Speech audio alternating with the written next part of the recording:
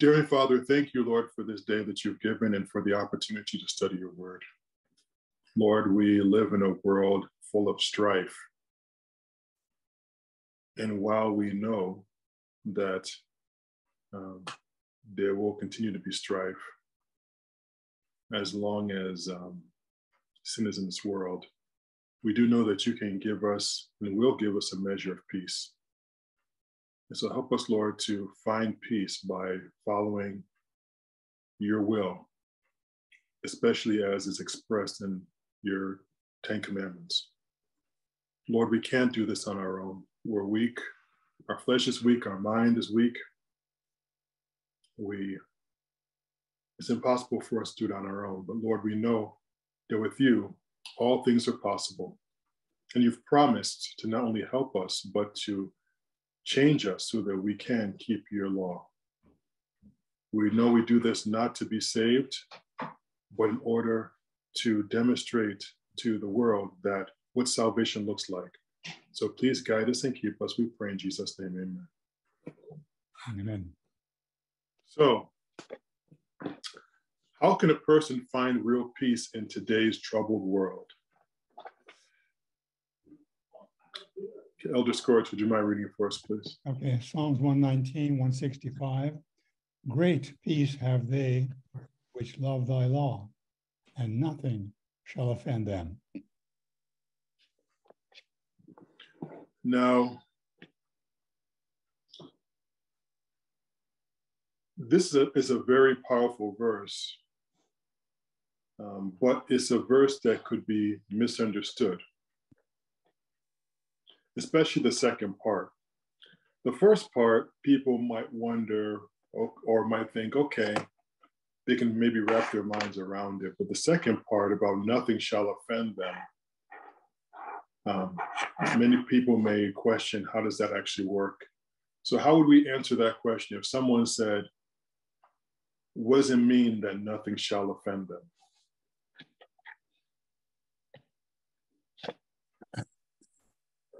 Well, it, it depends, I think, on their relationship with Christ and their understanding of what Christ can mean to them, what he can do for them. Yes, that's good. Um, any other thoughts as we continue the discussion?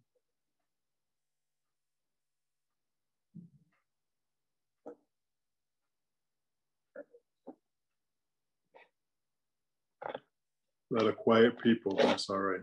So, um, so the thought that came to my mind was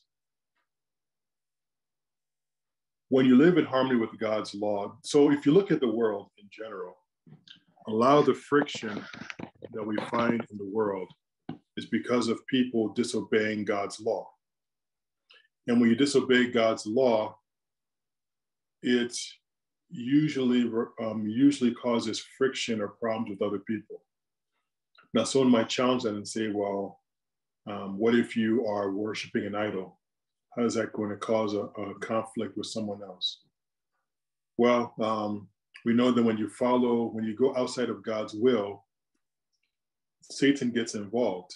In fact, Satan is uh, encouraging you to do so. And when you do that, it causes other problems because Satan always brings problems. Even in even in the most um, debauched society or parts of society, there's still problems, even though they're all doing what they feel like doing. So, so that may be one way in which, um, by following God's law, uh, loving His law, that we'll have that great peace because we won't do things that will cause friction. But even in a world full of sin, you can be doing the right thing and there still be and problems still come to you. We have plenty of examples in the Bible where the people were doing what they should be doing, and yet other people had problems with them, even though they didn't do anything wrong. You can think of Daniel, you can think of um, the three Hebrew worthies, Shadrach, Meshach, and Abednego. You can think of Joseph, many others. But as we as, as we love God's law and God's laws in our hearts, Another perhaps um, answer for this is that it will carry us above the slights, the ordinary slights of this world. There are people who, um, I remember uh, there was once was a time when if you um, stepped on someone's sneakers, they spent a lot of money on those sneakers. If you did that, um, it can cause a fight, physical fight, not just an argument, a physical fight. Um, some people might even shoot you for it. But when God's love is in our hearts and his law is in our hearts, those types of things don't offend us. So things that may offend other people, we're not as sensitive to. Even though even though it's wrong, we overlook it because we extend that person grace. Yes. But doesn't the law depend on to the extent that people love the law? They can have they you know they they can they say hey, I love Christ, but their misunderstanding of the law can affect their relationship. Yes. Yeah, so it's, it's true that, I mean, and that's part of what God is calling us to, is to grow in grace and to learn more. And as we behold, we become changed and we love the law more. Um,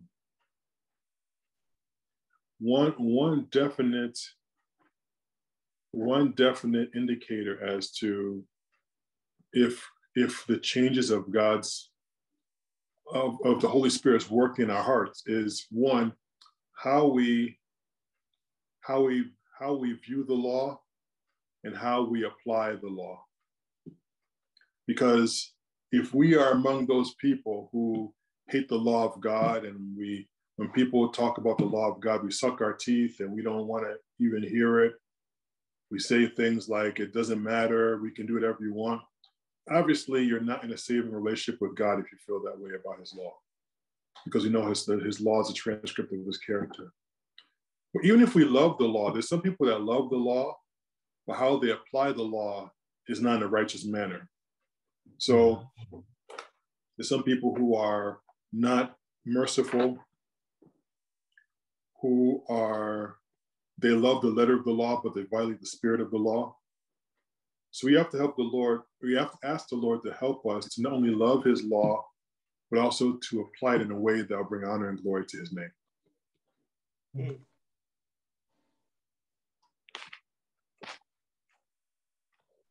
So, how does the Bible describe God's saved people in the last days of Earth's history?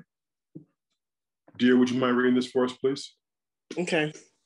Here is the patience of the saints. Here are they that keep the commandments of God and the faith of Jesus. Very good.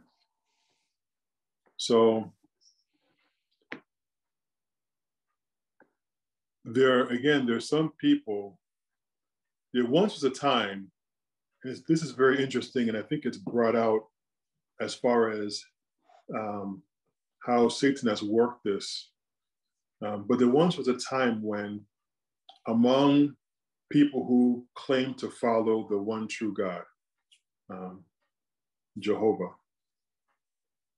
They would, um, uh, his law was something that was revered.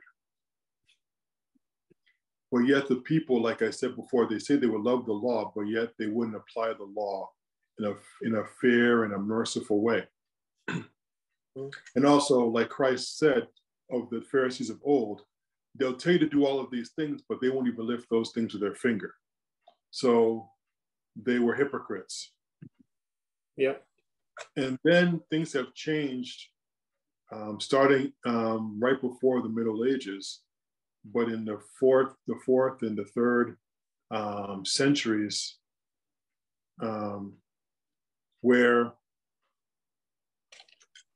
it's now reversed, where many of the people that say that they love God hate his law, or they say we don't need to keep his law, or, or they say that we can change the law. Some, some even say that we can't keep the law. And so it's, uh, it's amazing how Satan can work on both sides of the seesaw, seesaw in sense of one, telling people okay, love the law, but don't apply it in a way and really don't keep the law. Or you can say you love God, but you can hate the law of God, which doesn't make any sense. Let's go to the next slide. So, what are the Ten Commandments? It's a little bit of a um, eye chart, but I'm sure we can read it. Christian, can you read it for us, please? The Ten Commandments. Exodus chapter 20, verse 2 through 17. It's on the screen as well. All right. Thou shalt, can you hear me okay? Yes. Okay. Thou shalt have no other gods before me. Thou shalt not make unto thee any graven image or any likeness of anything that is in heaven above, or that is in the earth beneath, or that is in the water under the earth. Thou shalt not bow down thyself to them, nor serve them. For I, the Lord thy God, am a jealous God, visiting the iniquity of the father upon the children unto the third and fourth generation of them that hate me, and shewing mercy unto them, thousands of them that love me and keep my commandments. Thou shalt not take the name of the Lord thy God in vain, for the Lord will not hold him guiltless that taketh his name in vain. Remember the Sabbath day to keep it holy. Six days shalt thou labor and do all thy work. But the seventh day is the Sabbath of the Lord thy God. In it thou shalt not do any work, thou, nor thy son, nor thy daughter, thy manservant, nor thy maidservant, nor thy cattle, nor any, nor thy stranger that is within thy gates. For in six days the Lord made heaven and earth, the sea, and all that in them is, and rested the seventh day. Wherefore the Lord blessed the seventh day and hallowed it. Honor thy father and thy mother, that thy days may be long upon the land which the Lord thy God giveth thee. Thou shalt not kill. Thou shalt not commit adultery. Thou shalt not steal. Thou shalt not bear false witness against thy neighbor. Thou shalt not covet thy neighbor's house. Thou shalt not covet thy neighbor's wife, nor his manservant, nor his maidservant, nor his ox, nor his uh, donkey, nor anything that is thy neighbor's. Thank you very much. So, did the Ten Commandments exist before God wrote them on the tables of stone on Mount Sinai. Sister Rula, did you have your hand up? Or were you just adjusting the um, camera? I was adjusting the camera. Sorry. Okay, no problem. Would you mind reading the verse for us, though, while you're speaking? Sure. Genesis 26, 5. Because that Abraham obeyed my voice and kept my charge, my commandments, my statutes, and my laws. Thank you very much. Um, I had a little glitch in my Wi Fi, so hopefully that came through for everyone else. So, one of the principal arguments, so again, we're talking about the law of God. And while there are some Christians that believe in the law of God and believe that the law and God should be kept by faith through grace, um, there's some that don't want to acknowledge the claims of the law upon their lives. So, one argument that they give, they say, well, the law was really given to the Jews, or that the law didn't exist before Mount Sinai. Mm-hmm. Or can't be true because when Cain killed Abel in Genesis, what just Genesis 4, chapter 4, that was a sin. And, and, and, and, and God told Cain that that was a sin for him to kill his brother. So for someone to say, well, the law didn't exist before Mount Sinai, that would then mean that, like I said, Canaan, um, that Abel, Abel's death by the hand of Cain wasn't a sin. Or when um, God destroyed the world by a worldwide flood that's detailed in Genesis chapter six, um, that wasn't based on sin, which of course the Bible says it was. So it doesn't make any sense. But here's just another verse that indicates that Abraham, who was, of course, before Mount Sinai, kept God's commandments, his statutes, and his laws. And God commended him for doing that. Any comment before we go to the next slide?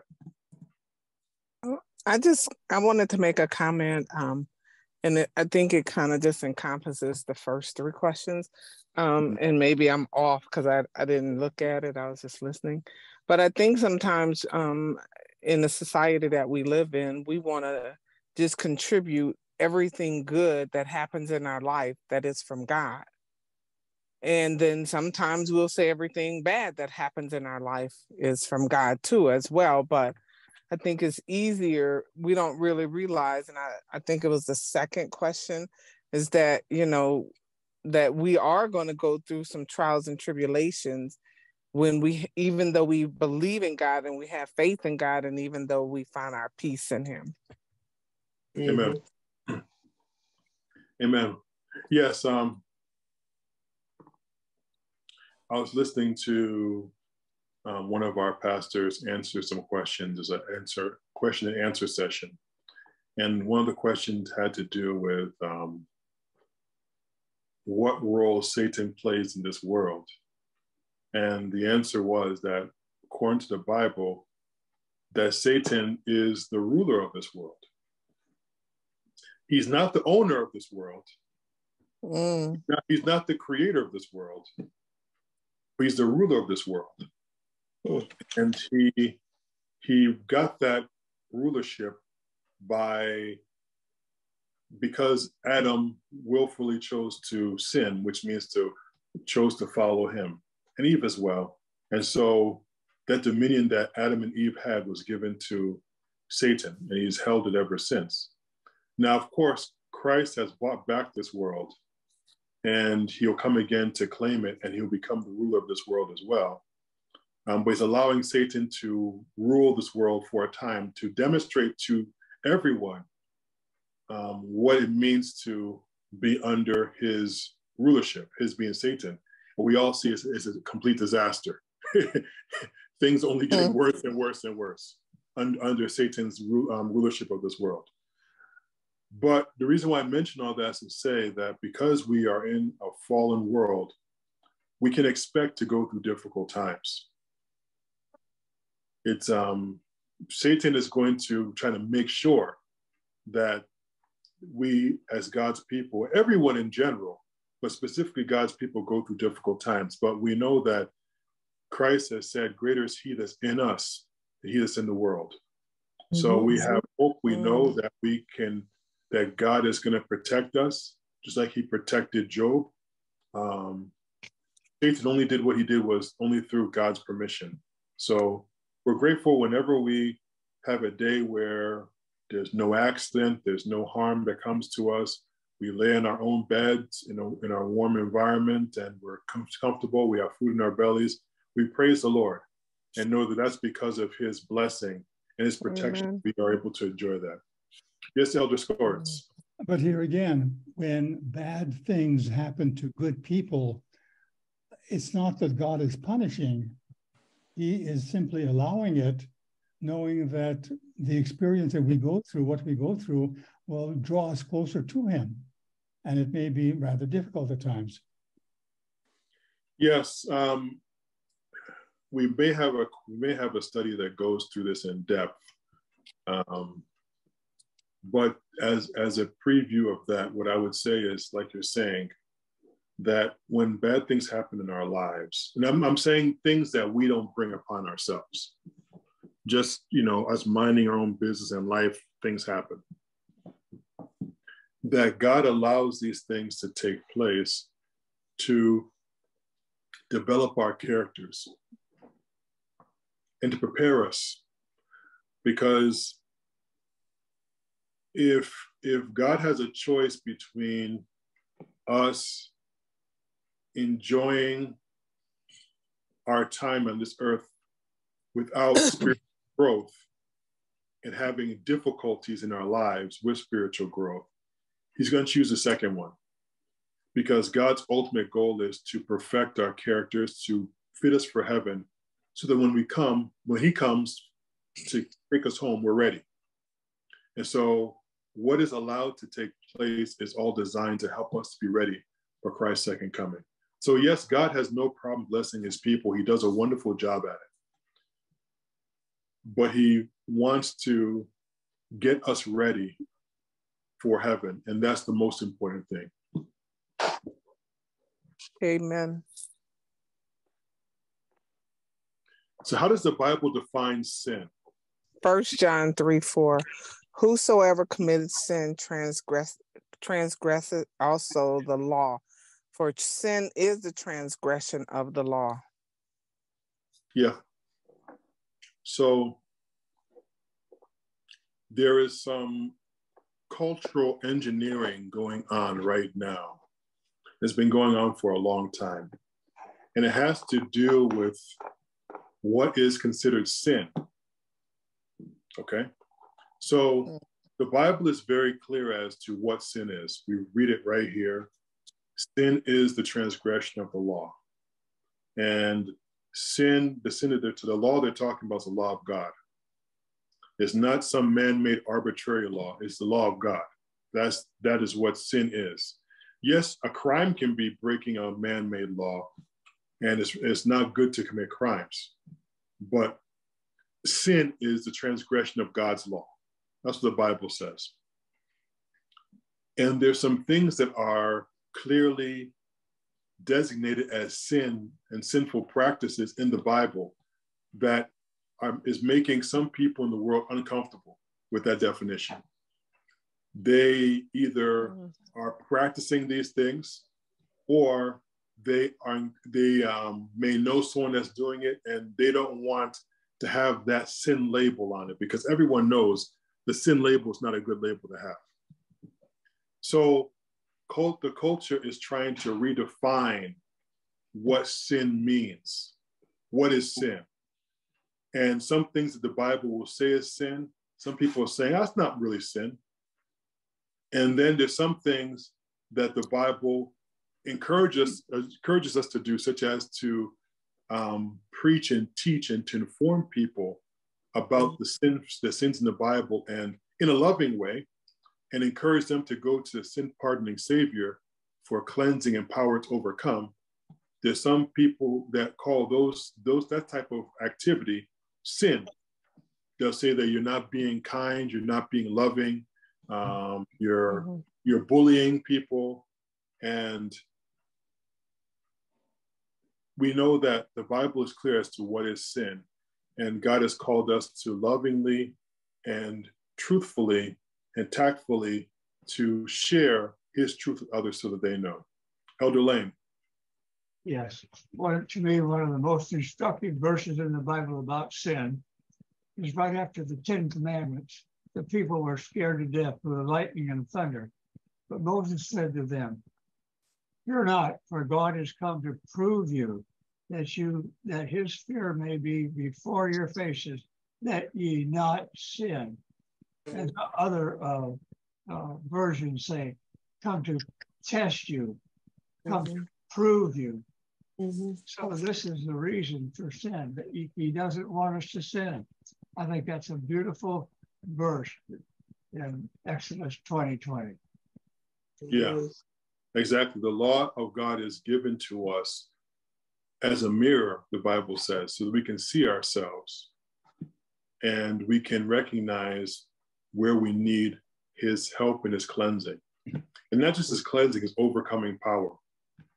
And trying to take something that's labeled as a sin in the Bible and, and then pretend it's not a sin is not it's not helping the situation. Yeah just like if someone gets shot and you and you pretend as if they didn't get shot and just tell them to put on their clothes like normal and walk around like normal and, and ignore the, the fact that they've been shot. That's not healing them. So we need, we, we need, we need to recognize these things. Yes, Elder Scorts. Uh, I'm sure all of you have heard the simple definition or the illustration of sin, S-I-N. When I or the person becomes the very center, the most important thing, then usually that leads to sin. Mm-hmm. Yeah. Yeah. Sinful activity is the root of it is selfishness. Mm-hmm. What does the New Testament say about the Ten Commandments? Christian, can you read this for us as well? Wherefore the law is holy, and the commandment holy, and just and good.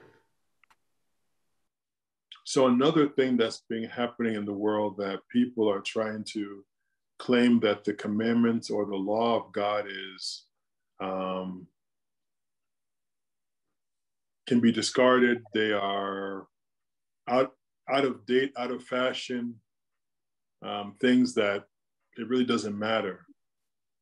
Um, but the Bible says that it's holy. Holy meaning that it's been set aside for holy use, is a holy thing.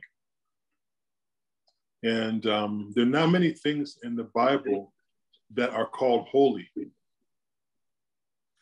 Because holiness is something that is a divine attribute. And then it's just.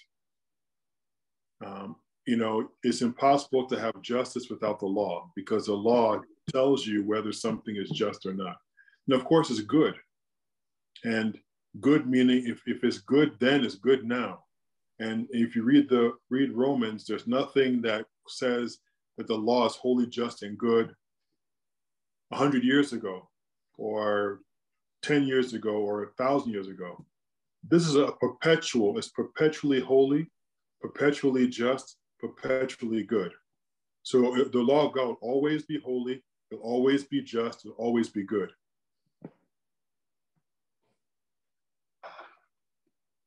Any comment before we go to the next slide?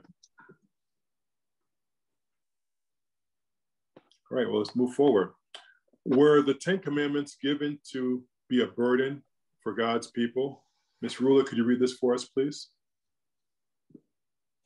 Sure. First John 5 3. For this is the love of God, that we keep his commandments, and his commandments are not grievous. Grievous. Grievous, yes. Grievous. So, yep. That's the next thing that people say.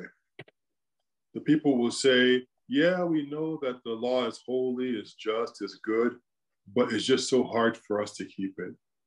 And it's, it's a burden. You know, I, I they'll they'll say I feel burdened, you know, every night when I think about how many times I broke God's law and you know, almost wish it didn't even exist because I just I just can't keep it. And if you go if you go through all of these things, all of all of everything that's in this verse is a gift of God. the love of God is a gift from God. We are not naturally, we don't naturally have love for God or the love of God in our hearts. That's a gift. The commandments are a gift from God. God gave these commandments to us as a gift to help us, to guide us. And so, if God gives us his love, he also gives us the commandments. He's also going to give us the power to keep his commandments. Amen. All of God's biddings are his enablings. So, God is never going to set, put you in a situation where you can't do what he's told you to do like we said before, with men it's impossible, with God all things are possible. Yes, Elder mm. But here again, regardless how many times we have sinned, uh, how many times we've committed, uh, you know, broken the law of God, it's important to keep in mind that God does not reject us; He still loves us. Yes, mm. part of, like we talked about um, last time, part of the sanctification process is God showing us sinful aspects of our life, God giving us, offering us the power to overcome them. We may, there may be some, doesn't have to be, but there may be some falls, slip and falls as we go. But God works with us and He restores us and He encourages us and He gives us a chance. And, you know, like the illustration goes, when when your baby um, son or daughter is learning to walk and you see them you know mm. walking unsteadily and they fall down you don't scold them for falling down them back up mm-hmm. you encourage them you give them a kiss you say how much you love them you tell them to keep going keep going keep going And that's what God does through us through the whole sanctification process. He lifts us up, He guides us, helps us to walk with His by His power, by His grace. And if we slip and fall, He hugs us and gives us a kiss as we come to Him in repentance and says, Keep going, keep going, keep going. And we do that, God will help us to, will be able to help us to live that life that's pleasing to Him. Yeah. yeah.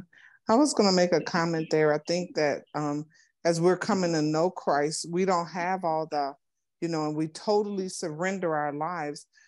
It's easy, you know, to kind of maybe get confused. You know, some of the stuff is when you're, you know, at a certain point in your walk with Christ, do you understand truly how much He's loved you, how you know his love was there to pull you out? And sometimes people don't see that right away but they see it the more they build and develop a relationship with him and study his word. It, mm-hmm. it that's just not naturally in us to mm-hmm. understand mm-hmm. that that's true. That's true. And we grow. That's why we grow in grace the bible talks about growing in grace. Amen we're grateful for that god gives us a chance to grow in grace how do the Ten Commandments provide guidance to believers? Dear, could you read this for us, please? What shall we say then? Is the law sin? God forbid. Nay, I had not known sin but by the law, for I had not known lust, except the law had said, Thou shalt not covet. Yeah. So the law isn't sin, the law helps us to recognize what sin is. mm-hmm. Were the Ten Commandments ever abolished or put away? Elder Scorch, could you read this for us, please? In Romans 3.31, it said, Do we then make void the law through faith? God forbid. Yea, we establish the law. Yes, which goes to the next thing that some people say. We're going through, we're trying to knock them bit by bit. They say, oh, well, um, I have, I don't need the law of God because I have faith in Jesus.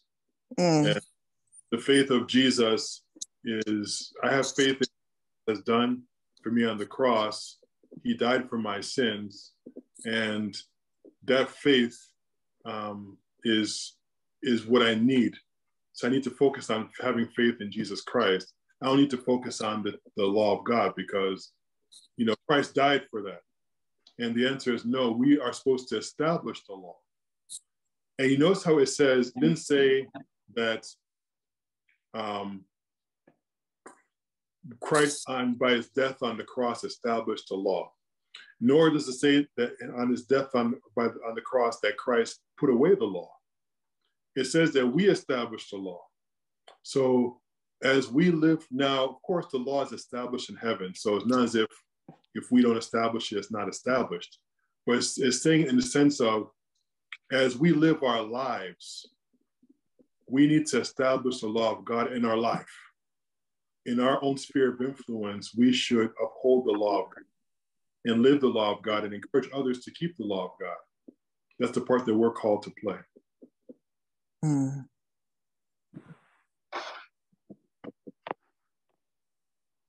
Did Jesus ever su- suggest the Ten Commandments would one day become obsolete? Miss Stacy, can you read this for us, please? Yes. Think that I come to destroy the law or the prophets. I am not come to destroy, but to fulfill. For ver- verily I say unto you, till heaven and earth pass, one jot or or one tither shall in no wise pass from the law till all be fulfilled. Excellent. Mm. So so this goes against another thing because some people will say, well, the law of God has changed or can be changed.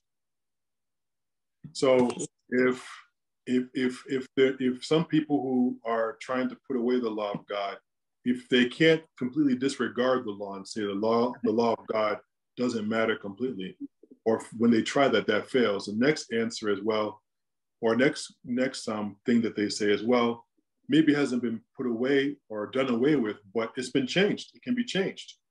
Mm-hmm. And God is very clear right here that not one jot, and the jot, I believe, is the dot above the I or the J. That's a jot. Mm-hmm. Or one tittle, which is the line that crosses an F or a T, mm-hmm. shall in no way pass away until all be fulfilled. and it's very clear if someone says, well, the law has been fulfilled, it was fulfilled at the cross. If that was the case, then Christ would have said so, number one. Right. And number two, and number two it's not going to be fulfilled until everyone is keeping the law. And so the Bible describes those who keep the law of God and which the law is being fulfilled. And fulfilled doesn't mean it's now done, it means it's being completely lived. So it mm-hmm. needs to be lived. And that's what we're called to do is to promote it so it can be lived by grace and by faith. Amen. Any comments before we go up further? Is it that you said it um, fulfilled mean lived in the lives of his followers? That's that's good. I don't think people think of it that way. Yeah, fulfilled does mm. not mean done away with. Yeah. Just like when just like Christ, he was sent to die for our sins. On the mm-hmm. cross, he fulfilled that mission. Right? He died for it. He fulfilled that mission. Mm-hmm. Well, there's no Christian that is that's saying when Christ died on the cross, fulfilled his mission, therefore he no longer his death no longer matters anymore. They're saying no, it matters. Mm-hmm. So again, God God is is saying that we need to fulfill this in keeping the law, and it's not going to be destroyed. He didn't come to um, to destroy but to fulfill it, mean to live it out. So we're saying that in the earth made new, the law will still exist. Ten Commandments will still exist. Of course. Of course. And we'll, we'll, as we continue on, we'll see why that's the case. Are the Ten Commandments necessary under the new covenant? Because that's another thing that some people say. They say, oh, well, that was the Ten Commandments for people way back then, but I'm a new covenant Christian. And as a new covenant Christian, I don't need to keep the law because I have faith. Mm-hmm. Okay, so this is in Hebrews, which is in the New Testament, talking about the new covenant. Because he says, I'm going to make it with the house of Israel, which we know that we're all spiritual Israel. If we read Romans chapter 11, we've been grafted in by faith. Also, Galatians chapter 2 talks about if we are in Christ, we're Abraham's seed. So here is the covenant that God has said he's going to make with the people. Um, Christian, please read this for us. For this is the covenant I will make with the house of Israel after those days, saith the Lord. I will put my laws into their mind and write them in their hearts, and I will be to them a God, and they shall be to me a people. Yes. So there are many Christians that, again, want to put away the law of God they like the last part of that verse. They like where it says, I will be, I'll be to them a God. They say, oh, that's great. And we shall be his people. That sounds great. Hmm. But what's in the middle about writing the law into our minds and writing them on our hearts, they have a problem with because they don't, they want to put away the law. But again, the most important thing is that God is saying that for us to be part of that covenant, this is the conditions of the covenant that he's going to write the laws in our minds and write them on our hearts.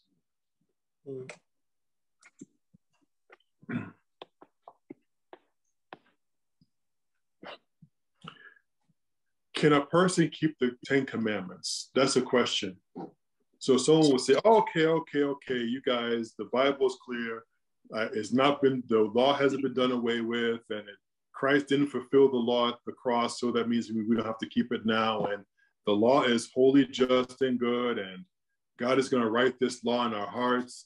You know, the Bible is too clear for me to say anything otherwise. All right. But then they'll say, as a last ditch effort, but can I really keep it? Is it really possible for me to keep God's law? These verses help answer that question. Nathaniel, could you read all three verses for us, please?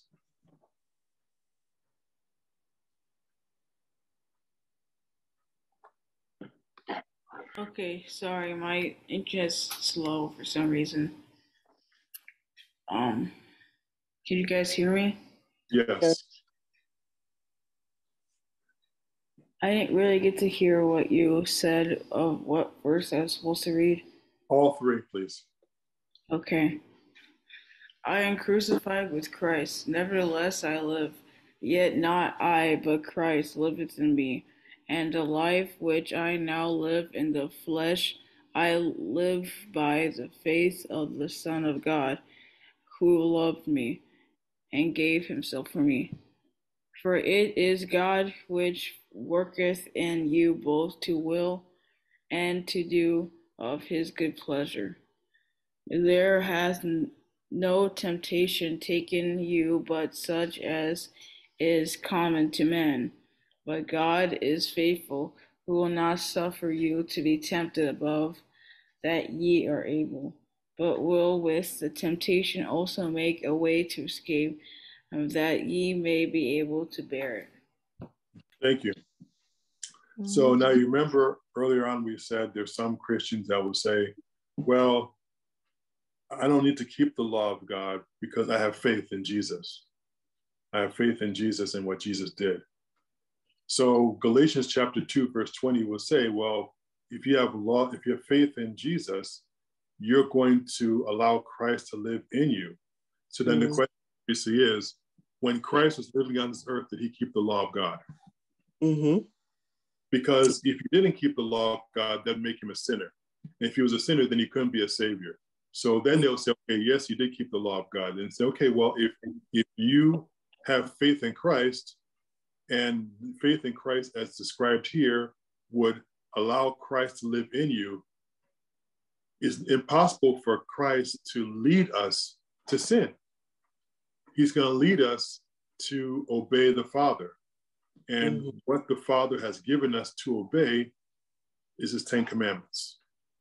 So again, whether you look at it from a law standpoint, you look at it from a faith standpoint, either way, it all points to the same thing obedience to what God has given us. And God has given us oh, his law to be obeyed. Mm. And then, of course, the second verse is that God is going to work in us to will and do of his good pleasure. So he's going to change us so mm-hmm. that we don't, don't, just do his pleasure, his good pleasure, but we also will want to do it. Mm-hmm. And, and then we know that, like we said before, Satan is the uh, prince of the power of the air. The Bible refers to him as that, also the God of this world, because um, there's some people that actually worship him as God in this world. Mm-hmm. But temptations come through Satan, but God is faithful and he won't let us to be tempted beyond what we're able to bear. And Amen. he will give us the ability to overcome. And overcoming means keeping his commandments and mm-hmm. doing the right thing because Satan's temptations are all designed to get us to disobey God's mm-hmm. commandments. That's his mm-hmm. goal. Mm-hmm. It's just very interesting the excuses that are made. Uh, you know, the, the because ultimately we just want to say, "Oh, I have faith and wear it like an umbrella," but it should not cost me anything. Mm-hmm.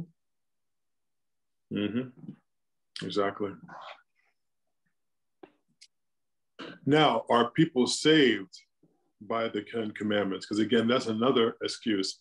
They'll say, you guys that talk about the commandments of God, you're legalists, you're mm. Pharisees, you're trying to make it seem as if we're saved by keeping the commandment when we're saved by grace.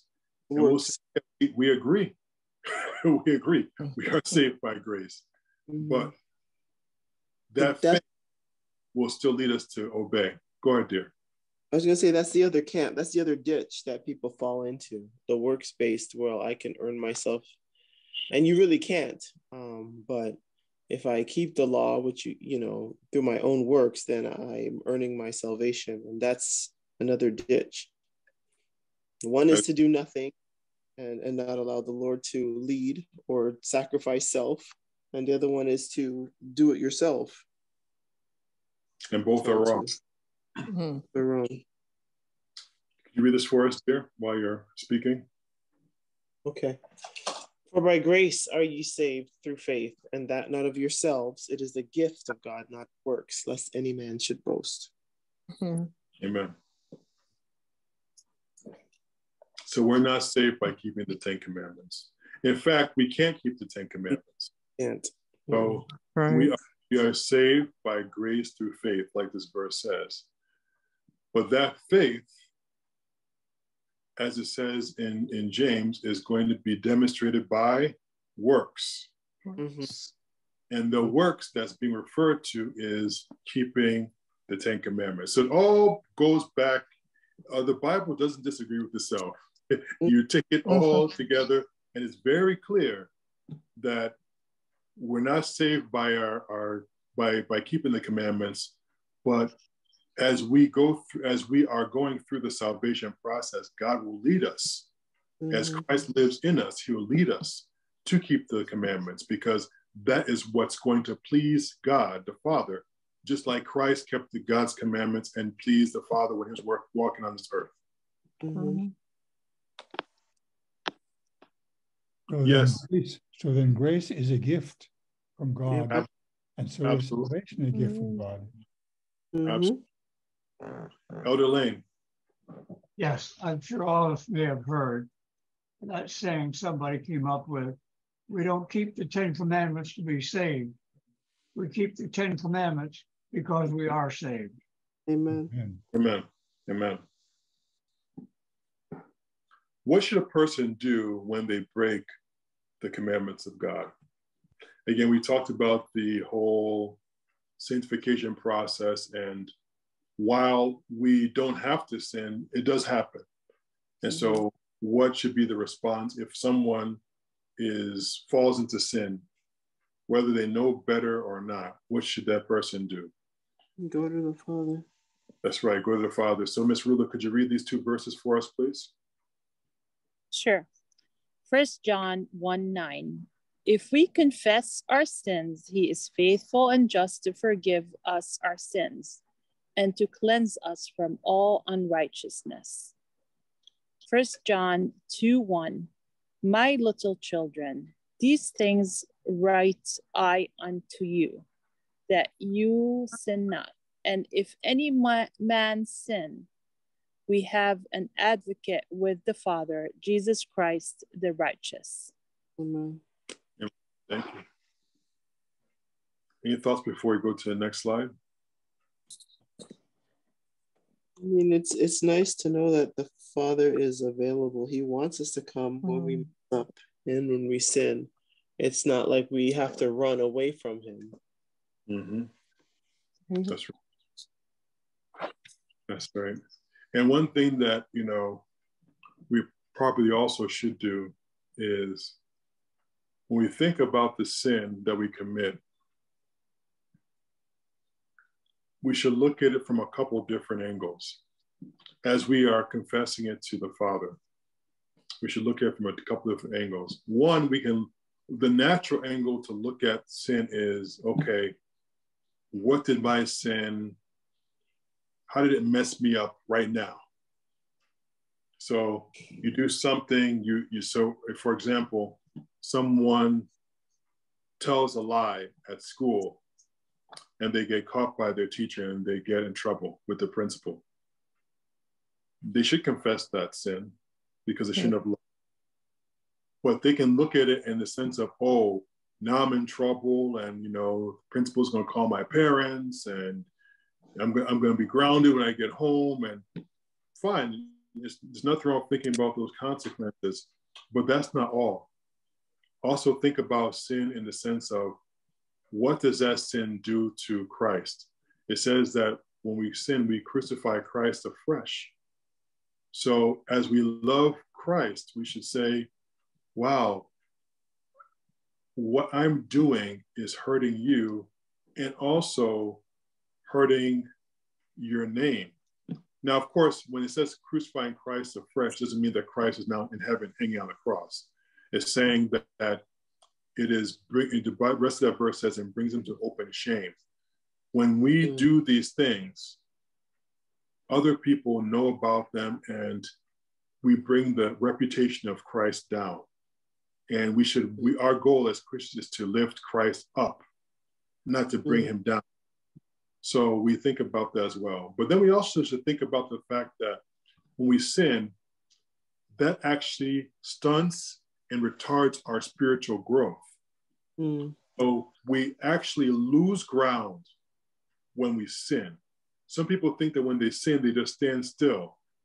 We actually lose spiritual ground when we sin, which you're going to have to make up. Um, so we lose that spiritual momentum by doing the right th- when we do the right things by doing the wrong thing. So if we think about all these different things, that might help us as we really ask the Lord to give us victory and start to hate sin and not just think of it as a inconvenience that we need to confess. Mm.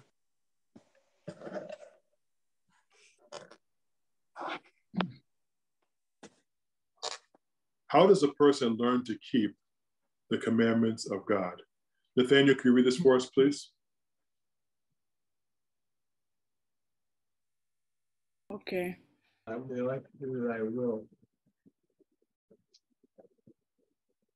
I delight to do thy will. Oh my God. Yeah, that uh, thy law is within my heart. Mm-hmm. Mm. And so that again goes back to that new covenant that we read about in Hebrews. So that when the law of God is in our hearts, the more we, we keep the law of God by grace, it deepens that impression. We mm-hmm. see the beauty of God's law in our hearts, in our in our lives, and we want to do more of it. So we learn to keep God's commandments by doing that. You learn by doing. You learn by studying. You learn by praying. You learn by asking God for power and victory. We also learn by actually doing. Yes, Elder Scored it's important to realize, to remember that sin is the opposite to the character of God, to what God is. Mm-hmm. And therefore, it is so abhorrent to him and should be to us. That's right. That's right.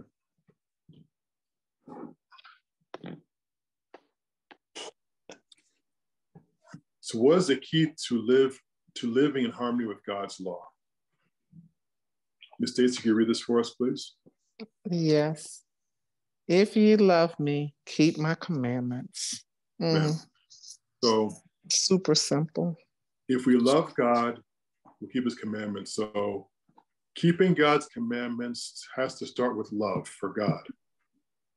And like I said before, that love is a gift. No one naturally loves God. No one naturally loves the law of God. But God can give us that gift to love Him, to love His law, to love His way of life, to love righteousness. We just have to ask, and He will give it to us. Amen. So, last thing is Are you willing today to invite Jesus to live His perfect life in you and guide you in a life of loving obedience to God?